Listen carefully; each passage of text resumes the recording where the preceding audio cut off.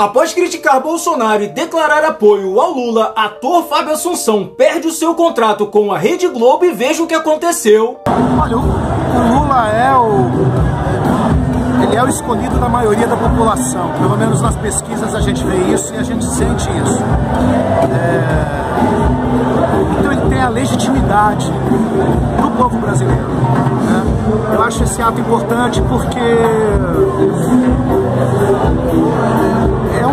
momento que existe um movimento fascista muito bem organizado, um momento que a esquerda se desestabilizou em função de tudo isso que a gente viu nos últimos quatro anos.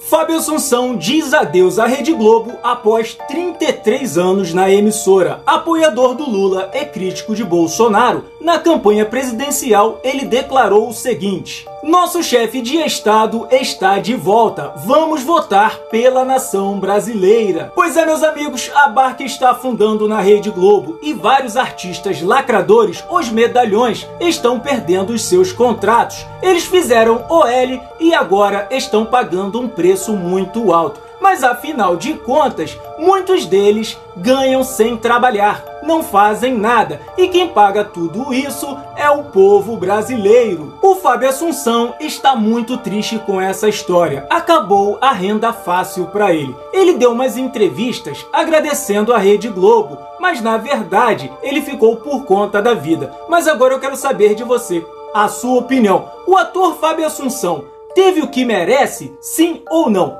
Deixe sua risada nos comentários.